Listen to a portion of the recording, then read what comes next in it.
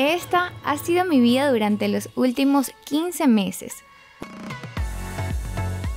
Una vida soñada, llena de grandes aventuras y mucha diversión. Una decisión que no fue nada fácil de tomar. Muchas veces dejar la zona de confort donde todo está bajo control es algo complicado. Somos criados con la idea de que el éxito en la vida es solo estudiar, graduarse, tener un trabajo estable y seguir los paradigmas de la sociedad. Durante dos años estuve creando excusas, postergando este gran proyecto por miedo a saltar al vacío. Pero el deseo de vivir un sueño fue más grande que el miedo a fracasar.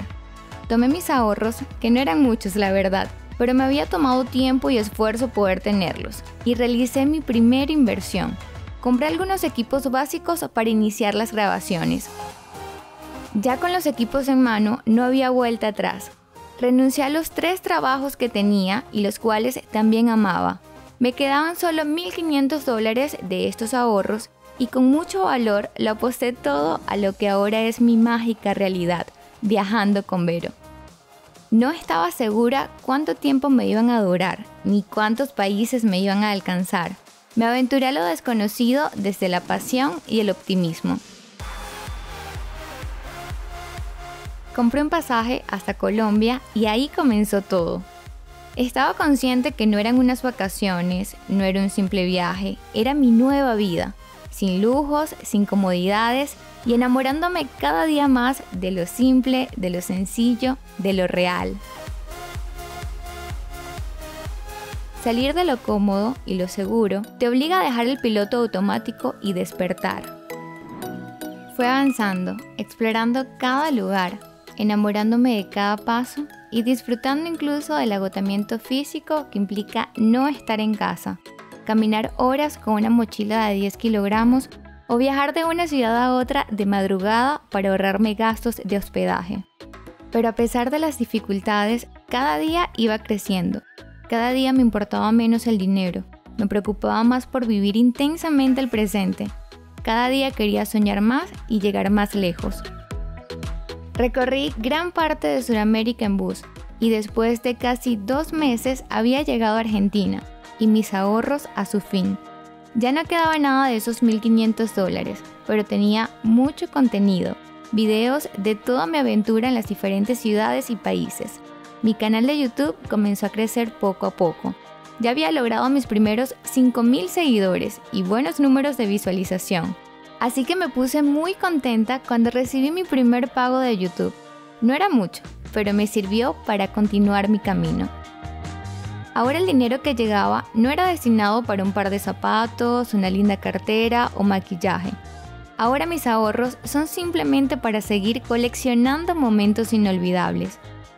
Sé que el dinero es importante, pero mientras más viajo, más desapego tengo por lo material.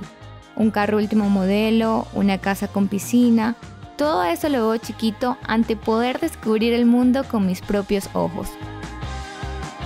Cada viaje me ha hecho más sensible y al mismo tiempo más fuerte. Con cada viaje crece mi espíritu y me encuentro con quien realmente soy. Con cada viaje me hago más valiente, más arriesgada y sobre todo más soñadora. He entendido la magia de ser uno mismo, aceptarse y amarse tal cual somos, pues las diferencias nos hacen especiales y únicos. Viajar es vivir enamorado de la vida, así que decidí invertirlo todo en seguir viviendo. Llegué a Iguazú, Brasil, y luego a Río de Janeiro, pero esta vez mi viaje estaba apoyado por el Ministerio de Turismo de esa ciudad que se había interesado en mi trabajo turístico.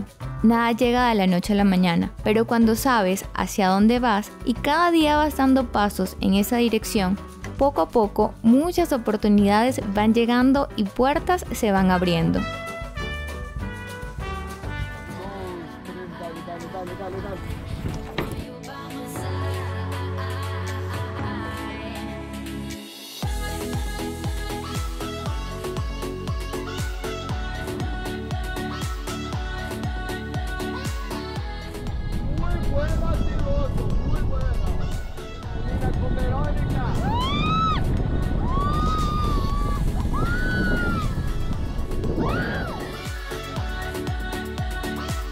De Brasil salté a Europa, donde duré tres meses por 10 hermosos países. Todo era nuevo para mí, vivía tan intenso que a veces hacía falta detenerme para darme cuenta que todo era real.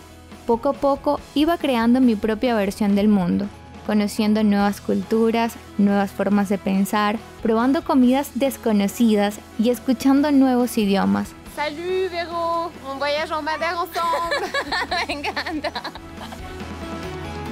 Hay una especie de magia en todo, una magia que te hace evolucionar. Ya eran siete meses fuera de casa, sentía la necesidad de volver, descansar y reencontrarme con mi familia. Volví, pero no siendo la misma, sabía que mi vida no volvería a ser igual. Al llegar a mi cama y mi cuarto con aire acondicionado, me parecían muy cómodos para ser verdad. No recordaba que tenía carro propio y que no haría falta caminar o tomar un bus para llegar a otro lugar. Amo estar en casa, compartir con mi familia y disfrutar de las bellezas de mi país. Pero ahora siento la necesidad de tomar nuevamente mi mochila, empacar lo necesario y seguir haciendo de mi vida una gran aventura. Después de esos inolvidables siete meses, he seguido viajando a lugares fascinantes, me sigo sorprendiendo con cada viaje y sigo sintiendo que mi corazón late fuerte al conocer un nuevo destino, una nueva cultura, una nueva historia. He llegado a lugares que ni sabía que existían, como el pueblito mágico de Bacalar en México. Me he conectado cada vez más con la naturaleza, valorando todas las maravillas que Dios ha creado. Ya somos más de 80.000 viajeros y el canal cada día crece más y más con una comunidad súper linda de suscriptores. Viajando con Vero es mi proyecto de vida.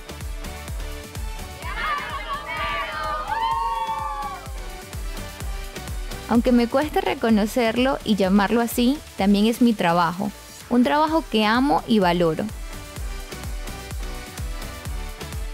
Ahora solo me pregunto, ¿qué sería de mí si no hubiese tomado la decisión de saltar al vacío y tomar el riesgo de salir de mi zona de confort?